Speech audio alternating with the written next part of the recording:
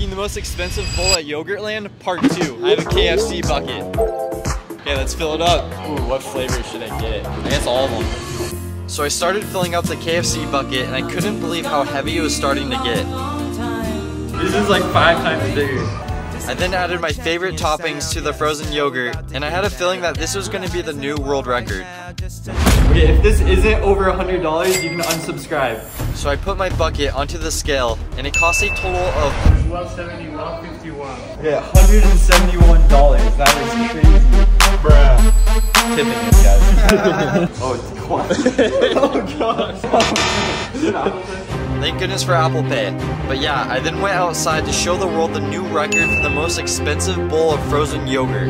That is so good. God bless you. If this video gets 200,000 likes, next time I'll make the bowl over $200.